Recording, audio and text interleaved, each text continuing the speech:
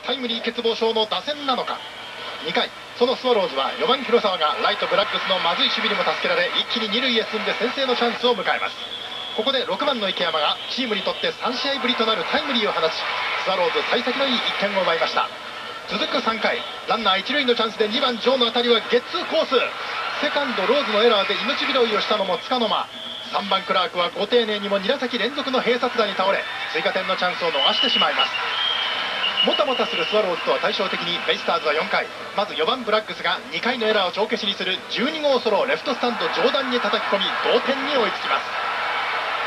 すると5番畑山もスワローズ先発伊藤昭光からセンター左へ5号ソロを放ちベイスターズあっさり2対1と勝ち越しに成功です。この後5対1とリードを広げたベイスターズに対しスワローズも6回。代打金森のこのタイムリーなどで1点差まで詰め寄りますがどうしても勝ち越せません。スワローズコンプレックスのなくなったベイスターズは7回に畑山の2点タイムリーツーベースなどで決定的な3点を奪い8対4で快勝。逆にスワローズは再び借金生活へ逆戻りです。痛かったんですけど腕でホッとしました。5番という打順はもうこれでどうですか？しっかり自信がつきました？いやあのやっぱりあのローズブラックスと続くんで、うん、ちょっとあのプレッシャーはあるんですけど、うん、それに負けないように頑張ります、この一発巨人先発エース斎藤からレフトスタンドへ4号ツーランホームランで横浜が先制します。さらに4回のブラッグスご覧ください。この大アーチ。2回席に突き刺さる2試合連続の13号ホームラン。まさにメジャーの力。あぜんぼう然の超特大アーチで3対1です。しかし驚くのはまだ早い。行ってみましょう。その裏の巨人打線。まず6番元木が目下対巨人8連勝中の野村から今シーズン初ホームランを放てば続く4試合ぶりのスタメンの岡崎もまさかの2者連続2号ホームラン。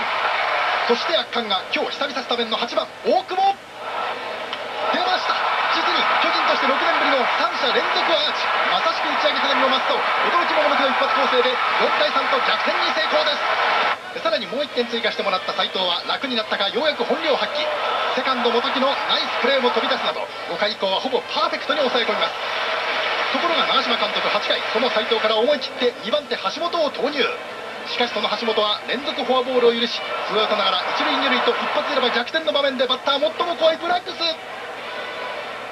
しかししかしフォークで三振に仕留めミスターの勘ピタリしてやったり。最終回は完全に自信を取り戻したストッパー石見が完璧に抑え長島巨人もう勢いは止まらない。5連勝です。巨人桑田横浜加藤と両先発の好投でまさにがっぷり四つのこの一戦は0対0で迎えた7回。この回先頭のピッチャー桑田がフォアボールで出塁するとこれをきっかけにツーアウトながら二塁のチャンスに松井登場です。すると横浜サイドはここでなんと敬遠策もちろん言うまでもなく続くバッターは4番落合ですがその前でなんとも大胆な策に出た近藤監督。この松井を歩かせた後すかさず加藤からストッパー森田にスイッチです。加藤対松井よりも森田対落合の確率を選んだ横浜に対しさあ4番落合の心中やいかにいざ勝負。しかしセカンドゴロと近藤采配ここはまんまと成功です。その横浜は9回ピンチの後にはチャンスありと4番ブラックスのヒットをきっかけに1、2塁のチャンスを作ると7番宮里の4球目でした。ここでパスボール。さらに満塁とした横浜は8番谷繁が犠牲フライ。これで貴重な1点が入り勝負あったかと思われました。ところがその直後の最終回ドラマが待っていました代打吉村一発。巨人剛を象徴する同点3号ホームランで流れは完全に巨人です。そして延長戦に突入して11回巨人勝利への結末の立役者はデーブ大久保。出ました。サヨナラホームラン。ご覧ください。ボルテージ最高峰興奮度100%もう泣きそうというこの表情。最高のサヨナラ勝ちで劇的な幕切れの長島巨人。6連勝です。はリードの成長を買われて今日は先発のマスクをかぶります。1回に1点ずつを取り合って迎えた2回。横浜は巨人戦に強い谷繁が右中間を破るツーベースヒット。ピッチャー斎藤隆の当たりも二塁打。その後フォアボールで満塁。巨人先発の木田ノックアウトされました。長嶋監督は2人目に松谷を送ります。しかし石井にライト前に弾き返され巨人2対1とリードを許します。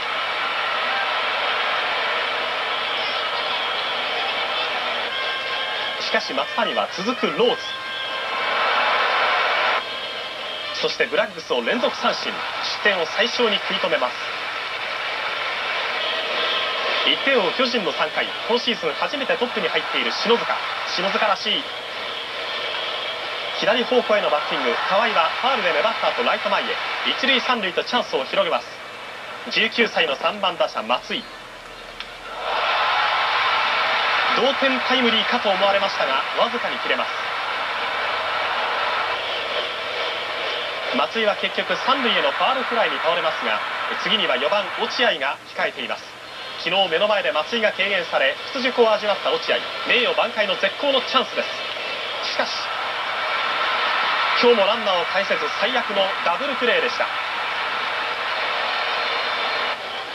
6連勝のうち4試合は逆転勝ちしている巨人打線。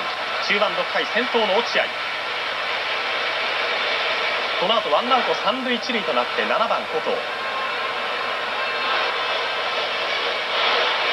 このところ右ピッチャーにも自信をつけています。同点のタイムリーヒット。昨日ヒーローの大久保。ランナーは帰れず満塁です。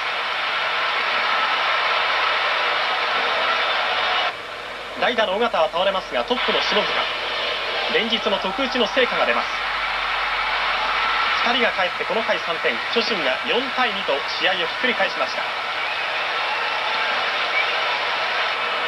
しかし今日は連敗の横浜が巨人6人目の石毛相手に意地を見せつけます。終盤8回巨人のリリーフ捕まります。1点差としてなおも満塁で駒田。巨人6人目石毛はファールで粘られた後押し出し同点です。さらに代打高橋には2ストライク追い込んでから再び押し出し巨人5対4と試合をひっくり返されます。しかしこの裏巨人は連続ヒットで一塁二塁。ここで河合がライト前に打って同点。